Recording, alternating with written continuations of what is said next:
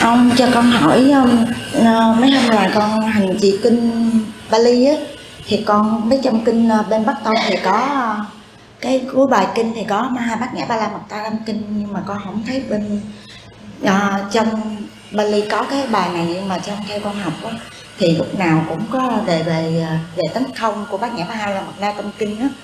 Dạ xin thầy khai thị cho con à cái kinh bát nhã đó, người ta gọi là kinh à, bộ khuyết tâm kinh. Tại sao người ta gọi là bộ khuyết tâm kinh?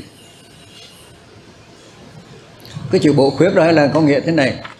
Nhiều khi cái pháp môn này, bây giờ pháp môn là phần lớn là pháp môn phương tiện. Phương tiện niệm phật, phương tiện niệm chú, phương tiện này, phương tiện đó đủ thứ hết đó thì bây giờ bên nam tông cũng phương tiện luôn, tức là các cái trường thiền đưa ra phương pháp này, đưa ra phương pháp kia, đó là phương tiện hết nhưng mà phương tiện là nó rất dễ bị rơi vào cục bộ. Khi mà phương tiện á, là rất, rất dễ rơi vào cục bộ. Đó. Cho nên á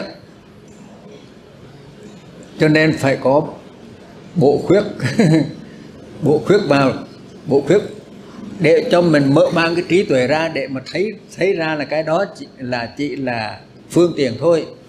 Chứ đừng có bám vào cái phương tiện đó trở thành chấp pháp chứ còn khi mà thật ra nếu mà đúng á mình chỉ cần là buông ra thì tự nhiên tất cả thấy biết đều như chân như thật hết. Thật sự buông ra đó nếu mình thực sự buông ra không còn bạn ngạ nữa đó thì tất cả mọi cái là nó sẽ từ tịch từ chiếu. Cái, cái Pavasara nó từ sáng.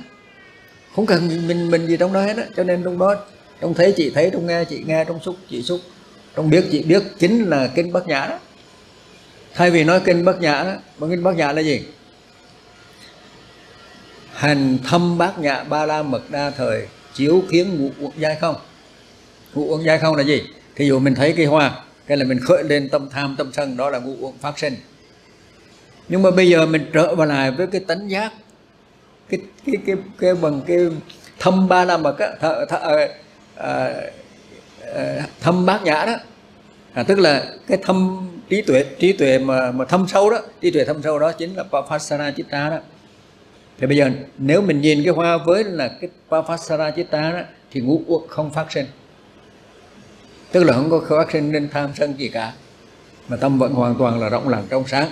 Thì như vậy tức là không có tức là à, ngũ uẩn giai không đủ nhất thiết khổ ích tức là vượt qua khỏi mọi khổ ích nếu mình nhìn mọi thứ mọi rồi mọi vật với tâm rộng nặng trong sáng thì vượt qua tất cả mọi khổ ích.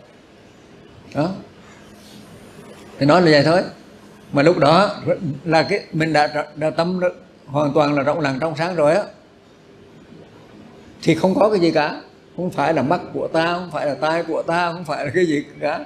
Không có bất kỳ cái gì cả. Mà là chỉ còn lại một tâm hoàn toàn rộng lặng trong sáng. Thì tâm rộng lặng trong sáng đó chính là Papasara Chitta hay là thâm bát nhã thì cái ý nghĩa của cái đó là như vậy. Nhưng mà Đức Phật ngài nói trong nhiều cái trường hợp khác nhau thì người ta mới tóm lại thành một bài kinh như vậy để mà nhắc nhở cho người ta rằng là hành gì thì hành nhưng mà cũng phải trở về lại với cái cái bản tâm thanh tịnh trong sáng đó. Đó, chứ không phải là cứ ờ, cứ chạy chạy theo cái cái phương tiện đó một hồi cái cái mình bất chấp vào cái phương tiện đó thành nó chấp pháp. Đó chấp ngạ rồi chấp ngạ rồi mới là cố cố buông bạn ngạ bằng chấp pháp. Để thành nó cũng như không. Đó mà mà cho nên cái cái mà tinh tấn chánh niệm tỉnh giác mà hiệu đúng mức mà hành đúng mức đó, đó chính là trung đạo. Mà đó chính là cũng là cái dùng của cái cái mà thâm bát nhã hay là cái Papasara Chitta rồi bây giờ mình nghĩ ngày mai hình như buổi sáng là làm à, lễ à, bế giảng phải không? Hình như trong cái dễ bế dạng đó đó thì có ai có cảm tượng gì khi ờ, à, qua một cái khóa tu như vậy á? Thì có ờ, cái cảm tượng gì có thấy ra được cái chuyện gì không?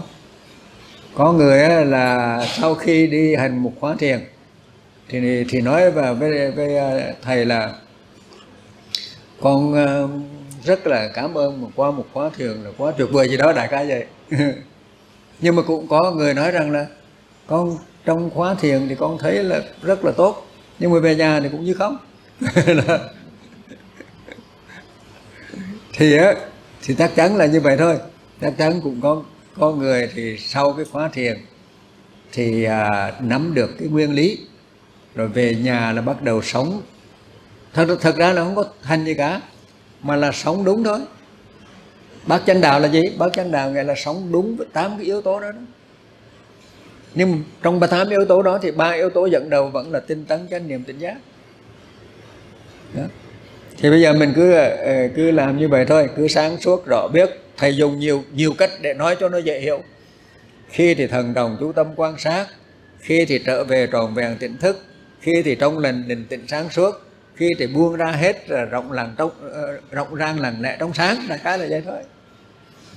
Tức là nắm vững cái nguyên lý đó là, là thầy vận dụng luôn. Cả cái tinh tấn chánh niệm dịch giác đó thầy vận dụng nó thành bốn bốn cái, cái, cái, cái trường hợp. Khi thì thần đồng chú tâm quan sát khi thì cũng có làm gì để thần đồng chú tâm quan sát thì trở về tròn vẹn tỉnh thức. Đó. khi thì nhìn mọi sự mọi vật hay là đi đứng nằm ngồi gì cũng cần gì hết chỉ cần là mình trong lành, định tĩnh sáng suốt là được rồi. Và nếu mà nếu mà càng tốt hơn nữa đó, là đi đứng nằm ngồi ăn uống gì tâm cũng rộng lặng trong sáng. Cũng rộng rang, lặng lẽ trong sáng. Tức là cái tinh tấn chánh niệm tỉnh giác đến cái mức độ là là là hoàn hảo. Đó. Thì nếu mà mình mình ứng dụng được những cái điều đó, mình mình sống được với những điều đó trong đời sống hàng ngày mà không cần phải theo, nhớ là không cần phải theo bất kỳ một cái gì. Cái đó là chỉ cái gợi ý thôi. Cũng như đức phật ngài nói là tứ chánh cần, tứ thần túc ờ, ngũ căn, ngũ lực, thất giác, chi bát chánh đạo là ngài chỉ gợi ý thôi. Còn bây giờ ngay khi, bây giờ mình đang thế nào thì mình mình trọn vẹn rõ biết cái đó thôi. Cho nên đôi lúc thầy không nói trình tấn chánh niệm tỉnh giác nữa, cũng nói là thần trọng chú tâm quan sát nữa. Mà chị nói là thường tròn vẹn rõ biết có khi chỉ cần một câu đó đủ rồi. Thường tròn vẹn rõ biết thôi. Mà cái rõ biết đó đó là cái cái tâm mình vốn là cái tâm rõ biết. Mình đừng che lấp gì cả thì tự nhiên nó từ rõ biết. Yeah. đại khái là vậy. Rồi bây giờ mình uh, nghĩ. Nô no nham tinang ho tu sukhita tu ya đằng nô nha nham tinang hô tu sukhita tu ya đằng nô no nham tinang hô tu sukhita tu ya kayo idang vatame punyang asava ya bahang tu.